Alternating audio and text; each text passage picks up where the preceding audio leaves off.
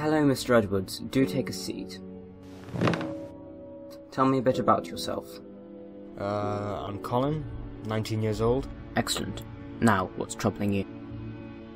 There's this man I know who calls himself the Doctor. He's incredible.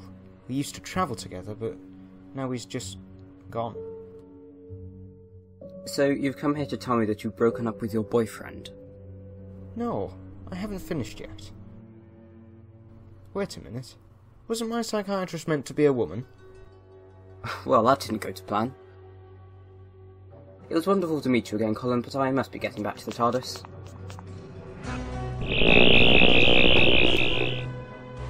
Doctor, what are you doing here? We'll talk in the TARDIS. I hate it when he does that.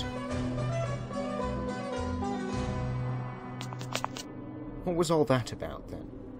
I thought it would be a fun way to catch up with you. Didn't quite go according to plan, though.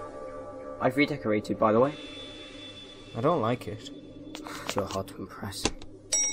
We're seeing psychiatrists now, then. I shot the Master and that Vortex Lord. They are aliens, but it still affected me. You didn't exactly help much by chucking me out. I suppose not. But let us not linger on the past. How about a trip to the future?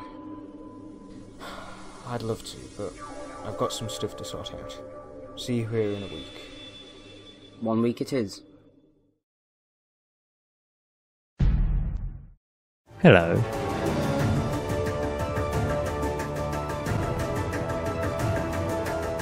I think now is a good time to run. What could possibly go wrong?